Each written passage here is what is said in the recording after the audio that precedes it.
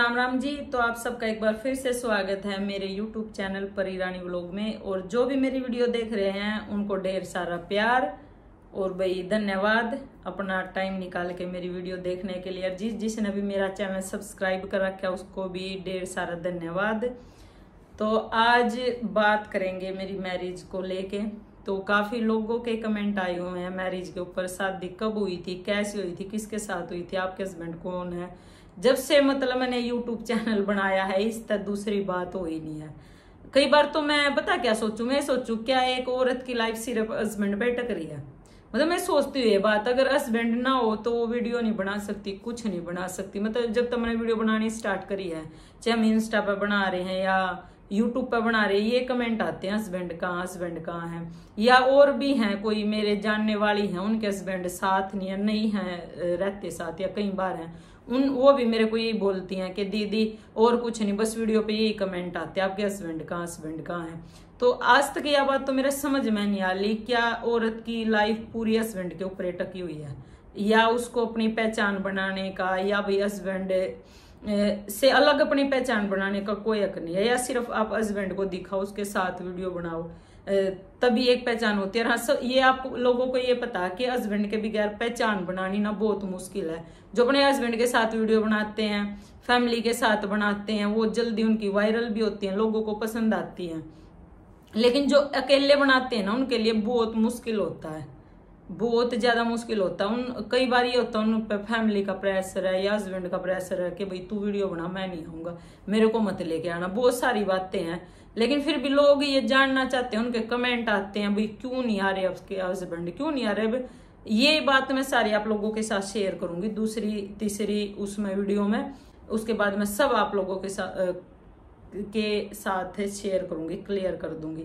तो उससे पहले कमेंट आए हुए हैं कि दीदी, आपकी शादी कब हुई थी? आपकी एज क्या है? और अपनी शादी की फ़ोटो दिखाओ। तो वही शादी की फ़ोटो उस टाइम पे इतने बड़े कोई कैमरे होते नहीं थे सिंपल से कैमरे थे और काफ़ी टाइम हो गया मेरी शादी को। और मेरी एज भी बहुत कम थी उस टाइम पे जब मेरी शादी हुई थी। तो उसका सबसे बड़ा रीजन ये था कि जो मेरे फादर थे, वो एक ऐसी बीमारी का शिकार थे कि हमने बहुत इलाज करवाया, उनका बहुत करवाया, लेकिन वो ठीक नहीं हुए। और डॉक्टरों ने बोल दिया था कि भाई ये ज़्यादा टाइम अब नहीं रह सकते, क्योंकि बीमारी ऐसी थी उनकी तो उन्हें पता था इस बात का। तो वो ये सोच रहे थे कि भाई, उनकी एक सोच थी कि मैं अपनी फैमिली में सब तक छोटी हूँ। सबकी शादी हो चुकी थी, सब सेटल थे भाई बहन सब थे, सिर्फ़ मैं अकेली थी। उनका ये था कि भाई, मेरी गुजरने से पहले मेरी बेटी का घर बस जाए। क्योंकि हर माँ बाप को टेंशन होती है कि भाई, और लड़की के मामले में तो सबसे ज़्यादा होती है, देखो। लड़के का तो ये सोचते चलो लड़का तो कुछ ना कुछ कर लेगा। पर लड़की का ये होता भी मेरे बाद मेरी बेटी का क्या होगा? अब मेरे दोनों बच्चे हैं, देखो मैं अपने बच्चों से बराबर प्यार करती हूँ, लेकिन प्रीशा की मेरे को ज़्यादा टेंशन रहती है कि ये लड़की है। और लड़की की माँ बाप को हमेशा ज़्यादा रहती है। और आज के टाइम में देखे तो और भी ज़्यादा। तो यही था उनका भी, मेरे फादर को ये था भाई, मैं गुजर, देखो मेरी लाइफ ज़्यादा नहीं है, उनको पता था। और ये था कि भाई, मैं अपनी ज़िंदगी, जितनी भी मेरी ज़िंदगी रह रही है, उतनी ज़िंदगी में मैं अपनी बेटी का घर बसा दू, किसी अच्छे घर में इसका रिश्ता कर दू। और ये पहला कारण ये था कि जब मेरी शादी होगी थी, उस टाइम मेरी बहुत एज कम थी हाँ उस टाइम ये हुआ था कि भी शादी के बाद, कुछ साल के बाद वो पहले करते थे कि भी शादी जल्दी कर दी। कुछ टाइम के बाद वही फिर ससुराल भेज दिया, जब तक मायके में रहेगी लड़की।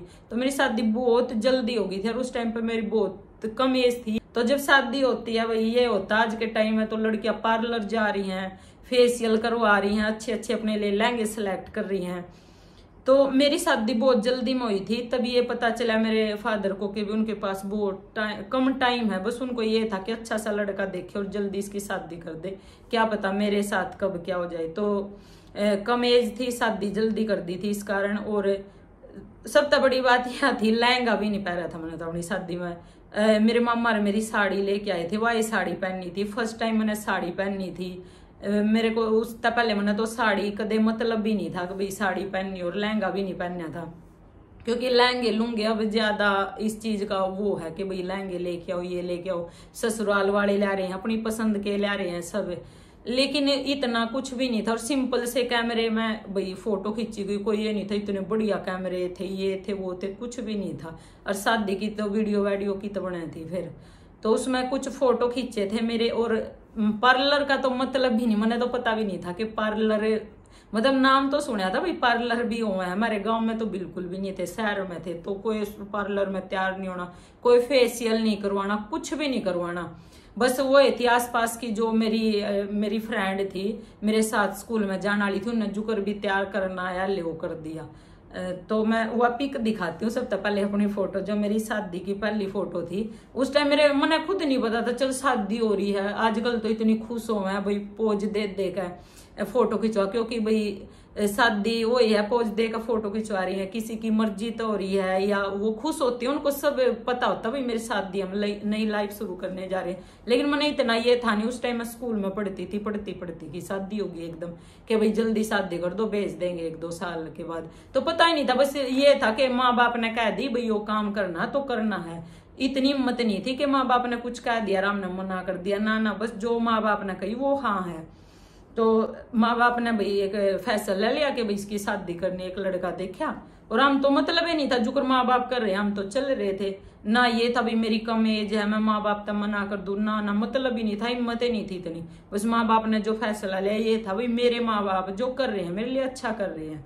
बाकी सब किस्मत का होता है, देखो जो किस्मत में लिख रहा है बंदे की, वो तो उसके साथ होगा तो किस्मत का खेल है सब। माँ बाप हमेशा अच्छा रिश्ता ढूंढा। कोई भी ऐसा माँ बाप नहीं है जो अपने बच्चे के लिए गलत रिश्ता ढूंढेगा तो ये बहुत सारी बातें हो गई कुछ बातें अगली उसमें भी करेंगे, फिर ये फ़ोटो रह जाएगी। वीडियो लंबी हो जाएगी बहुत। है तो ये फ़ोटो दिखाती हूँ, ये देखो। बस इसमें मैं चुपचाप बैठी हूँ। अपने ये करके फ़ोटो वाले ने बोला, फ़ोटो खिंचवानी मैंने मुँह कर लिया। बस ये देखो। और उस टाइम पे क्या था? ये वाइट और ये रेड कलर के डॉट सी बना दिया कर दे। कोई फेसियल नहीं, कुछ नहीं था। और बस ये करके यहाँ पे एक वो ब्लैक कलर की वो लगा दिया करें थे नज़र ना लगे, उसकी लगा रखी थी काजल की। वो एक काजल आँखें में डाल दिया वो याडा लगा दिया आई वगैरह कुछ भी नहीं था। कोई आई नहीं लगा रखा है।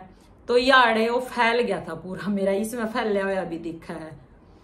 कोई कुछ नहीं था सिंपल अपने ये लगाया थोड़ा सा। और हल्के से जो न बाल बुल जुकर बनाने आए पिन पेन ठाक है उनने जो मेरी फ्रेंड थी, उनने कर दिए बस या मेरी शादी की फ़ोटो उस टाइम की। और एक दो या वो बनाया कर दे पोज सी बना कर दे ब्लैस से पोज बनाओ। देखो, इसमें भी या बना रखी मैंने। जुकर कैमरे वाले ने कह दी ना, वो ये कर ली। कोई फेस पे स्माइल नहीं, कुछ नहीं। ये कटी हुई इसलिए पहले जोड़ जोड़ कर बना कर दे देखो, दो फ़ोटो इस तरह बना दिया कर दे ये देखो ये देखो। बस जुकर उन्हें कही, ये पोज कर लो, वो कर लो। बस वो कर ली। कोई वो नहीं था, शादी हो रही है, नई लाइफ शुरू होगी, इसका क्या मतलब है, कुछ नहीं पता था। सिर्फ़ ये था, भाई घर वालों ने शादी कर दी तो भाई, कर दी बस। घर वालों के मना नहीं कर सकते माँ बाप के आगे बिल्कुल भी नहीं मना कर सकते थे। और ये फैसला पिताजी ने लिया था, उनके आगे तो मना करने का मतलब ही नहीं था। और वो या वो जो डर था फिर डेढ़ या दो साल होया था मेरे शादी ने तो मेरे फादर एक्सपायर हो गए। फिर अगर जो होया शादी में वो आप लोगों के साथ वो भी शेयर करना बाकी बहुत सी बातें हैं भाई। कई बार पता क्या होता है, इंसान का तो टाइम समय खराब होता है, या कई बार फैमिली का प्रेशर होता है, या कई मजबूरी होती है जो शेयर नहीं कर पाता लोगों के साथ, चाह के भी। तो यही कुछ मजबूरी लगा लो मेरी या कुछ भी लगा लो। कुछ टाइम और बाकी है, उसके बाद में आप लोगों के साथ सब शेयर करूँगी, सब बताऊँगी। लेकिन अभी मजबूरी लगा ले, कुछ भी लगा लो भाई। मैं अभी फ़िलहाल कुछ बातें नहीं बता सकती हूँ। और कल की वीडियो जो आगी उसमें मैं हस्बैंड की भी आप लोगों को फ़ोटो भी दिखा दूँगी, अपने हस्बैंड की। इतना तो मैं कर सकती हूँ, आप लोगों को फ़ोटो दिखा सकती हूँ। और उससे ज़्यादा भी मैं कर नहीं सकती। तो ये दिखा दिए मैंने, और एक दो ये मेरी, उसमें फैमिली की भी फ़ोटो एल्बम में था ये देखो, ये मेरी सिस्टर हैं। ये देखो। ये बस ज़्यादा फ़ोटो नहीं है, मेरे पास ये कुछ फ़ोटो हैं। बाकी पूरी एल्बम खराब हो चुकी है, मेरी सारी की सारी खराब हो चुकी है। बाकी जो गलत कमेंट करेंगे, वह तो करेंगे भाई, क्या कर सकते हैं? जिसकी जिसी सोच है, वो ऐसे ही कमेंट करेंगे हस्बैंड हस्बैंड हस्बैंड मैं सच बताऊँ, बाकी मैं जब तक यूट्यूब चैनल पर आई हूँ ना, जब तक मैंने पहली अपनी वीडियो डाल ली है, या हम इंस्टाग्राम पे थे टिकटॉक पे थे, उस टाइम तक मेरे पे सवाल पूछा गया आपके हस्बैंड को दिखाओ आपके हस्बैंड को दिखाओ आपके हस्बैंड को दिखाओ। मैंने तो ऐसा लग कि जब लड़की की शादी हुआ है ना तो हस्बैंड के साथ उसको ऐसे बाँध दिया जाता है कि तू इसके बगैर कुछ नहीं कर सकती, ना इसके बगैर अपनी पहचान बना सकती है, कुछ भी नहीं कर सकती। मतलब ये चीज़ नहीं होती कि भाई ये वीडियो बना रही है, अपनी बेटी के साथ बना रही है, बेटे के साथ। कि आप ये कमेंट करो कि आपका ये स्टेप अच्छा लग गया, ये वीडियो अच्छी लगी। ना ना ना, ये कुछ नहीं है। सिर्फ़ ये कमेंट ज़रूर आता आपके हस्बैंड कहाँ आपके हस्बैंड कहाँ है। चलो, वो भी मैं आपको बता दूँगी कहाँ है, क्या करते हैं। तो भाई जिसको जो कमेंट करने आप कर लो, जिसकी जो सोच है, कर सकते हो। मैंने पता है क्या रीजन क्या हर बहुत बड़ा रीजन है, जो मैंने आप लोगों को नहीं बताया। और वो कहते हैं ना कि हर बात टाइम आन पर बताई। जो उसका टाइम आने वाला अभी तक नहीं आया था तो मैंने अपने बच्चे भी देखने हैं, मेरे लिए, बच्चे मेरे पहले है। अगर वो मैं बता देती तो मेरे बच्चों के लिए बिल्कुल भी अच्छा नहीं होता।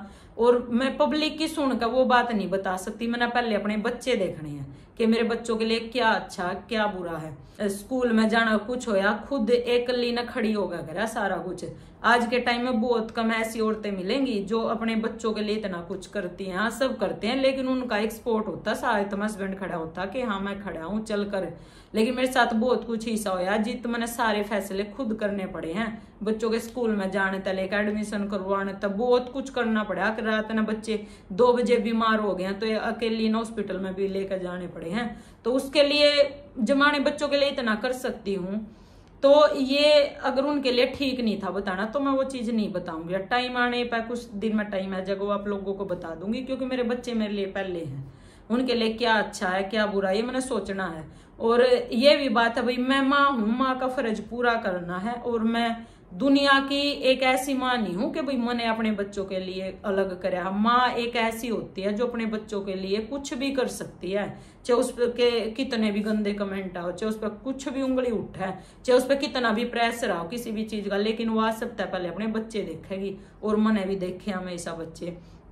तो बहुत सी बातें हैं भाई, वो अगली वीडियो में आप लोगों से करेंगे। तो आज की वीडियो बस इतनी बहुत बड़ी हो जाएगी, तुम भी फिर बोर हो जाओगे। तो आज की मैं मैंने कुछ बातें आप लोगों को बता दी और अपनी फ़ोटो दिखा दी है शादी की। और नेक्स्ट में जो दिखाना वो भी मैंने आप लोगों को बता दिया। तो भाई, अच्छी वीडियो लगा तो आप अच्छे कमेंट कर सकते हो। बुरी लगा तो आप बुरे कर सकते हो। देखो, जिसकी जैसी सोच है, वो ऐसे ही कमेंट करेगा, मैं उन्हें नहीं बदल सकती। तो धन्यवाद जी मेरी यह वीडियो देखने के लिए बहुत बहुत आपने अपना कीमती समय निकाला। अगली वीडियो में आप लोगों से मैं कल मिलूँगी। तो बने रहिए मेरे यूट्यूब चैनल परी रानी ब्लॉग पे।